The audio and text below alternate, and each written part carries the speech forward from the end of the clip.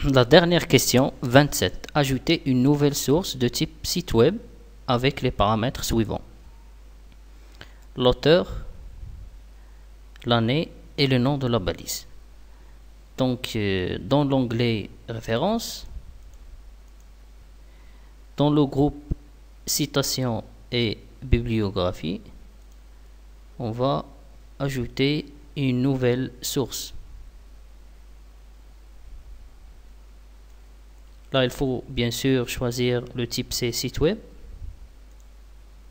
Donc, site web, voilà.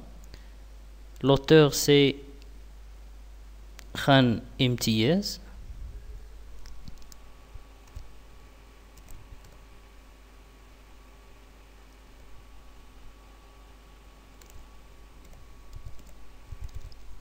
Là, il faut faire attention, il faut respecter la casse. Ça veut dire il faut écrire les lettres majuscules, majuscules, etc.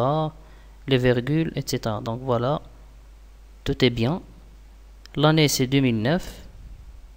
Donc l'année 2009. Et le nom de la balise, tout à fait en bas. Voilà, donc euh, KHA 09.